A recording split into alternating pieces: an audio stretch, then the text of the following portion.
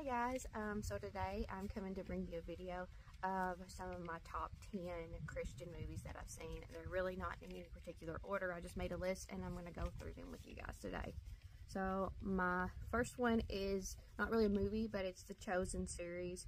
It's a really great quality and I love how it humanizes Jesus it actually made me fall in love with Jesus, like as a person, like showing his humble side and his humility and his kindness and his gentleness and the way he interacts with kids and like just other people just really humanized him and didn't make him into this like godly above all figure that they usually portray him to be in movies. It really made him human for me.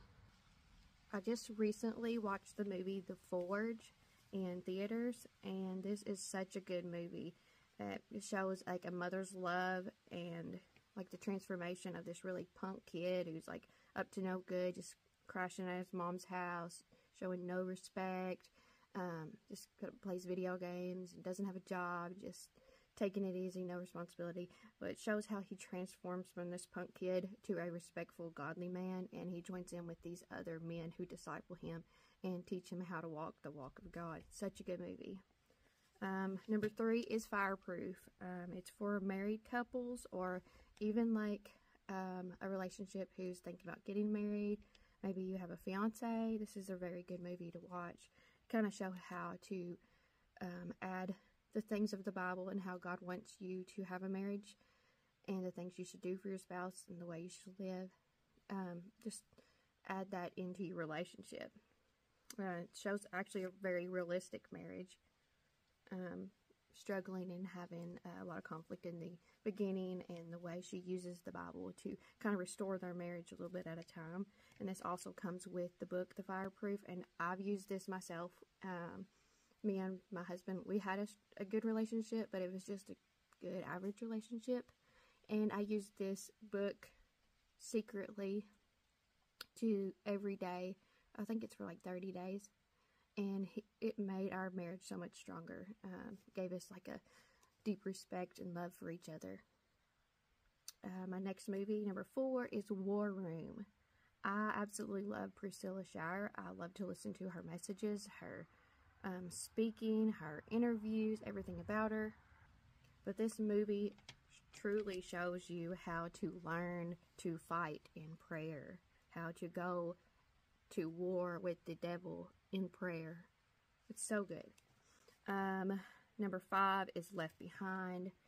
Um, they have like the older one from like maybe the 90s and they have one from 2004 and there's several more. I had just re recently watched The Tribulation Force, which was super good. It kind of shows how the tribulation comes into place. Um, it shows how they make a world, one world government, how it shows how the mark of the beast is established and more. It's just really interesting to see all that kind of see how it would come to place in the real world. Number six is To Save a Life. It's about this popular guy in school. He has all the friends, all He's got the prettiest girl in school. Well, one of his old best friends commits suicide right in front of him. And it just kind of changes him. And he befriends this kid that's not so cool in school and kind of turns his life around. He turns to Jesus and all his friends that he had before he became a Christian, they kind of betray him and it kind of shows like the battles he goes through. It's really, really good. I really like it. And number seven is A Walk to Remember. This is one of my favorite movies I've ever watched. It's probably number one on my favorite movie ever. I just love it. Um, it's got Mandy Moore in it.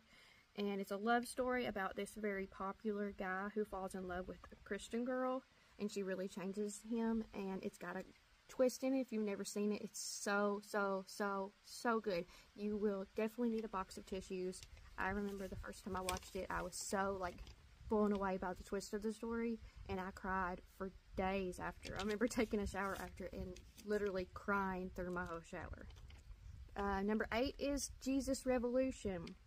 It's based on a true story from, I think, about the maybe late 60s, early 70s. It's a movement of Christianity that brought a multitude of people starring Jonathan Roumie, I guess is how you say his name. He plays Jesus in The Chosen, and it's really good. I really like it, and I believe that God is going to do this again these days, and we're going to have a outpour of the Spirit in our generation. I'm just, I know that's going to happen, and I just can't wait to see it.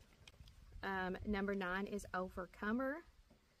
Um, after a town goes through a financial crisis, there's a basketball coach that takes a cross country coaching position. He hates it, he doesn't want to do it, he doesn't even think cross country is a, a sport. And then, above all that, he only has one girl on the team. And, anyways, he becomes very hard hearted.